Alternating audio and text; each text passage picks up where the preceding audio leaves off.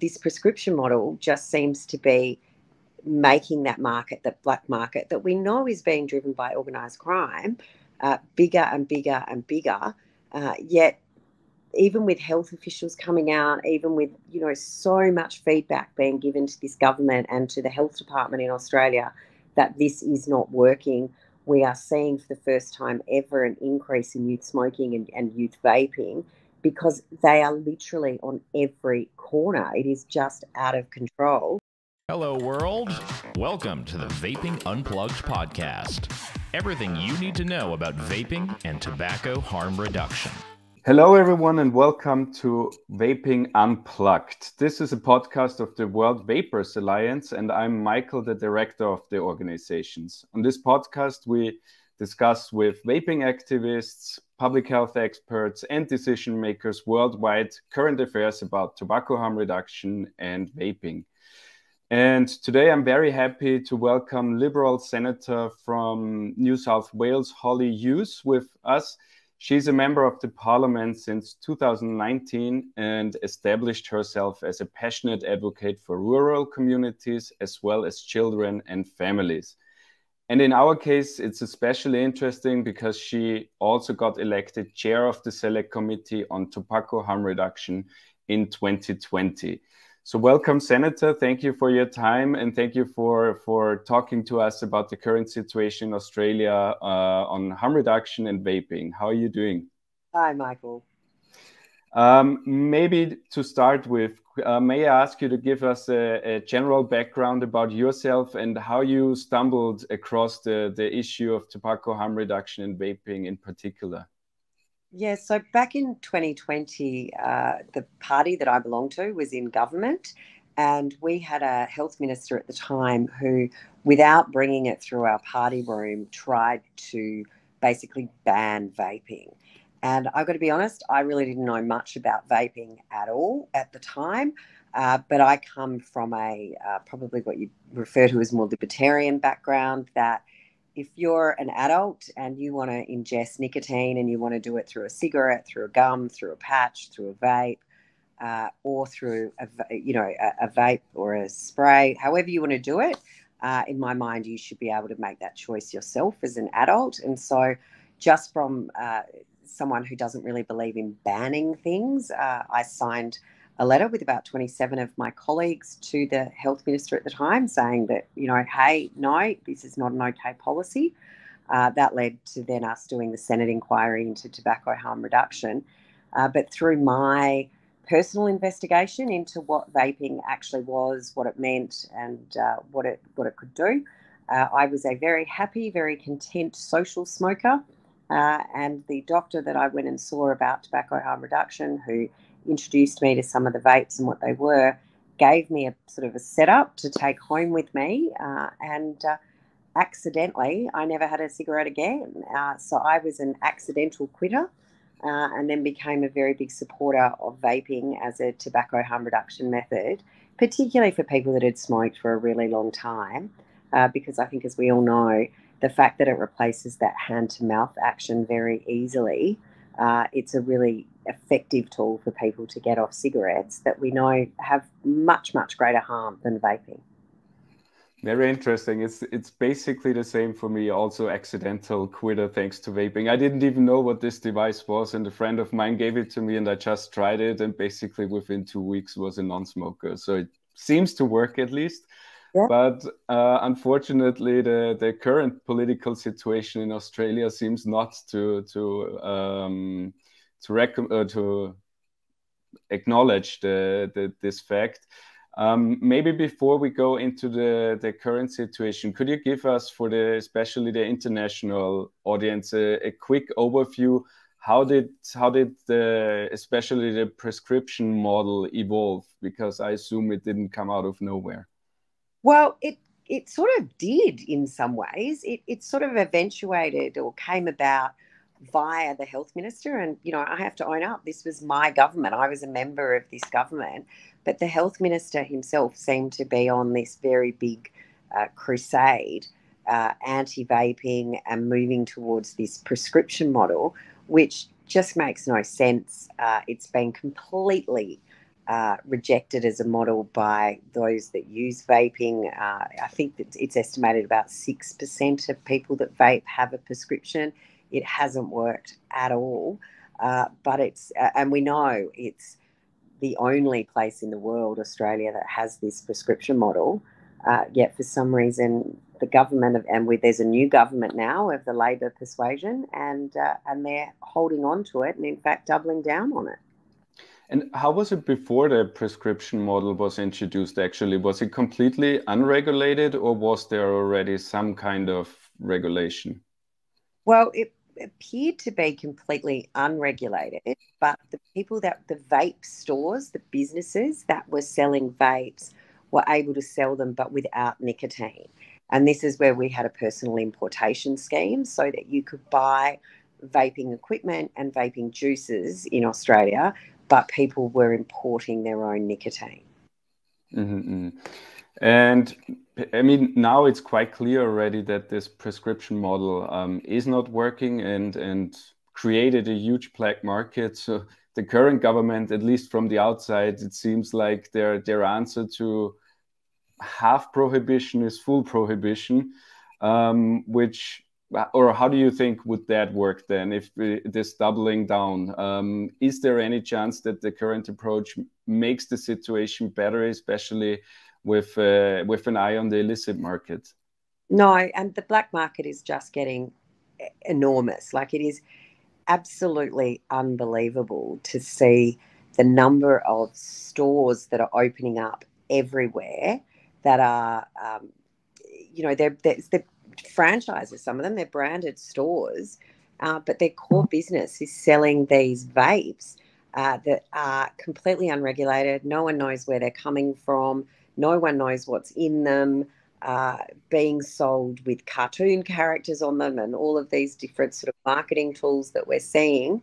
Uh, yet, it, this prescription model just seems to be making that market, that black market that we know is being driven by organised crime, uh, bigger and bigger and bigger.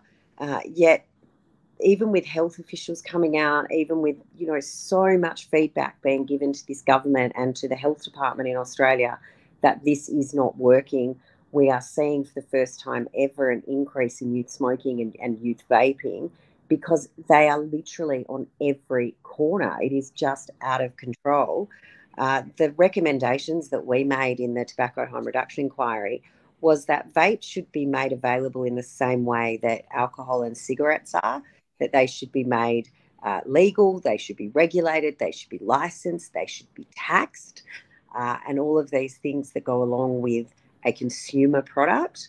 Uh, but instead, this government seems intent on trying to seem even more tough on vaping by uh, appearing to want to restrict access that said, uh, the minister who's gone out on this limb, uh, who then sort of has been a bit hard to find anywhere since he made the announcement, has now said that there's no real date for when any of these reforms are going to take place. Uh, and of course, part of this was he announced that it was all going to be about border security and stopping these illegal vapes coming into the country. Again, he gave no ex- there was no extra money for Border Force, uh, who've said that they are in no position to stop the stream of these illegal vapes coming into the country. I mean that that was pretty shocking to me when I read this that there should be some kind of vape police established. And I'm also wondering I mean we can't keep our prisons drug free how should how should a country be nicotine free I think that's just an illusion and and um, just impossible to realize and for, for me, the surprising thing is with Australia, you have your next door neighbor, New Zealand, has a completely different approach. And I can't really figure out where does that come from. It's it's two countries basically next to each other, but have a complete opposite um, direction when it comes to harm reduction. Is this just the the the, the people in power, or is there also a difference in media, society, attitude towards nicotine in general? What do you think? Look, it's not, a, I don't think, in opposition to nicotine per se. I think there's obviously a strong part of that within the health department itself.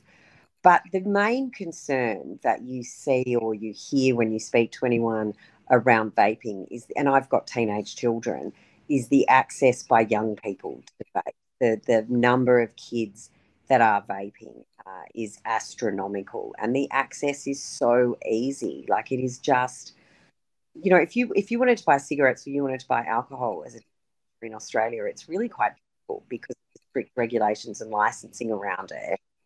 There's huge fines if you sell it to people under the age of 18. But this black market in vapes is just being allowed to flourish. And that's where people are concerned.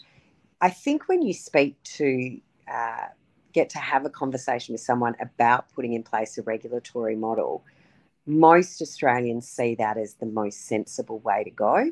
That, you, you know, once you try and start banning things, of course the black market's going to get bigger.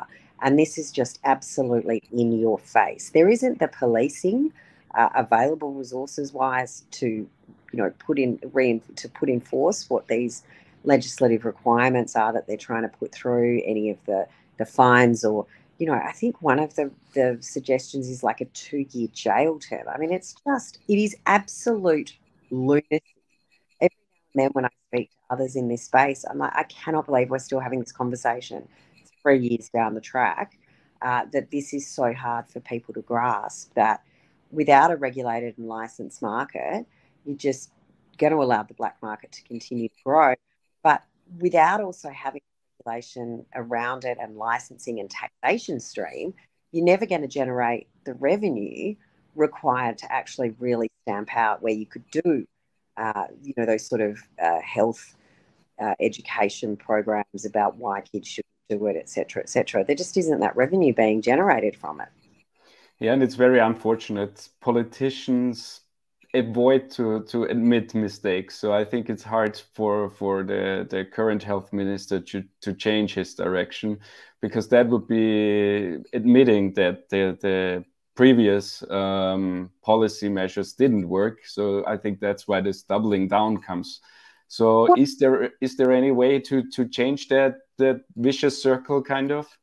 I mean, the thing that I find quite strange about this is it was sort of my government that bought this ridiculous pharmacy prescription model in. And I would have thought this gave the new Labor government the cover to actually say, listen, this policy didn't work. We need to adopt something different.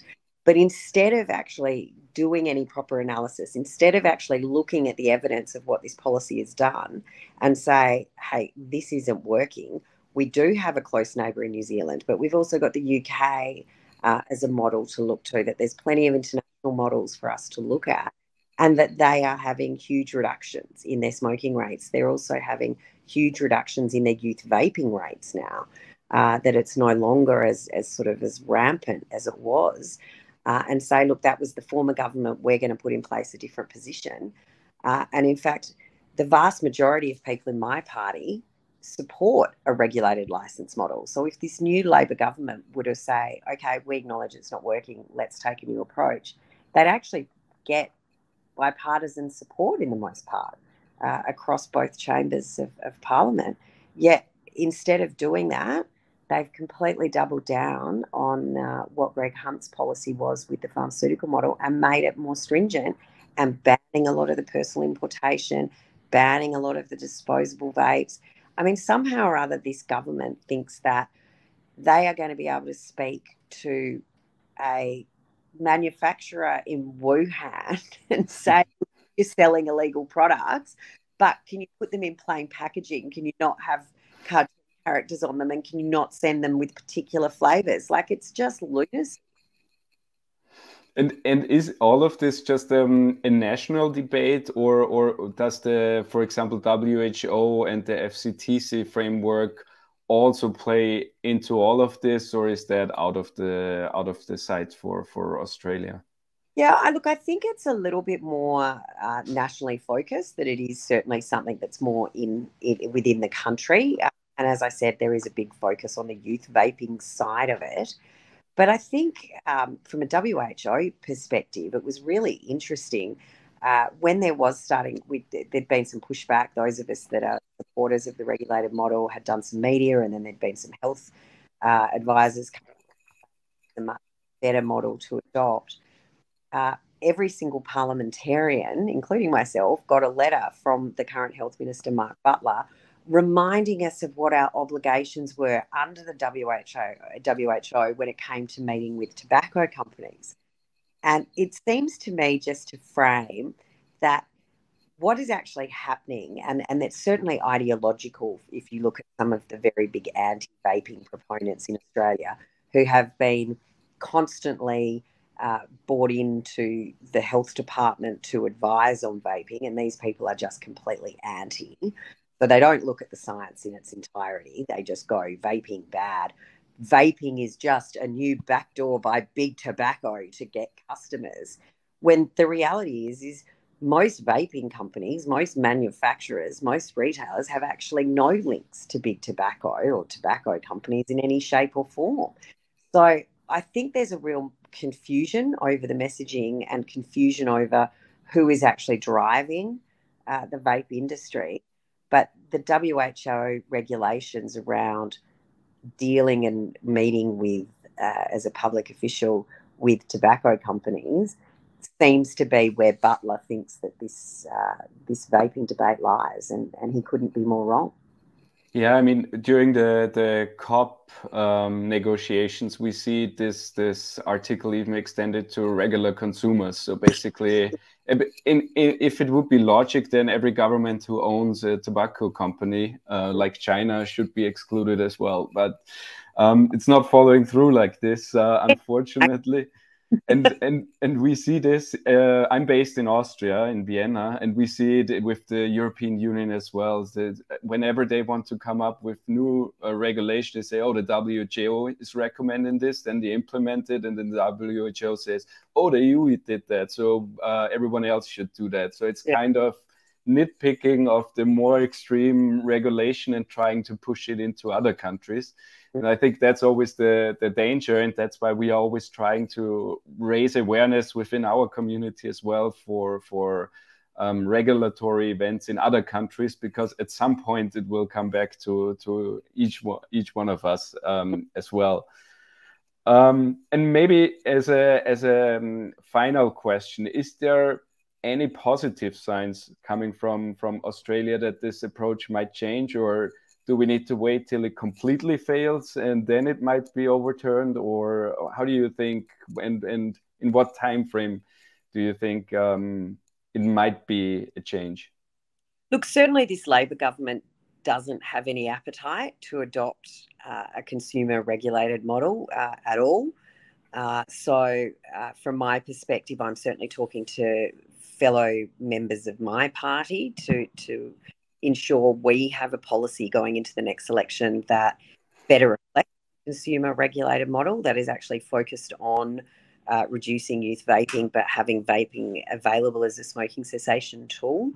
Uh, but I, I, I, have no doubt that this new policy is going to be an abject failure. It's going to be continuation and worse. Uh, we're seeing, as I said, all these shops just setting up in plain daylight uh, on every corner selling vapes. Where I live, uh, on the fringe of the city, you can't walk more than 10 minutes, uh, 10 meters without uh, bumping into a new vape store. So I, I just wonder how bad it's got to get before people realise. But there certainly doesn't seem to be any appetite from this Labor government at the moment to adopt any change at all. So, what would then be your your message to consumers? What what can we do to to make the situation better in general, but especially in Australia? I think it's important that uh, from a, a, political activism side, which you know I'm from the conservative side of politics, so activism's not really our our thing. That sort of tends to sit more with the left. But I do think it's important that people that vape and have used it as a successful smoking cessation tool do make their voices heard and, and are made making it very clear to their local representatives because there has been some research done and polling done that a lot of the people who have used vaping successfully, a lot of adults, uh, there's enough of them in some seats that are marginal with very small margins that if they together and voted for a candidate who supported their right to vape, you could actually see the seat change hands. And, you know, politicians, that's the way to get them to sit up and take note is if you're going to change your vote, make sure you let them know uh, if they don't uh, get on board with your issue. Fantastic, thank you. Yeah, that's that's obviously um, one of one of our main messages as well. That those personal stories make a big difference, and I think a lot of politicians are still unaware of of of those uh, stories and personal testimonials. It's not anecdotes anymore. Um, so that's um, very good, and we try to encourage our members to do that worldwide. And with that, I would like to thank you for your time and for joining us today. It was a pleasure, and um, we wish you all the best that the situation in Australia hopefully gets better very soon. Absolutely. Thank you so much. Bye bye. Thanks, Michael. Bye.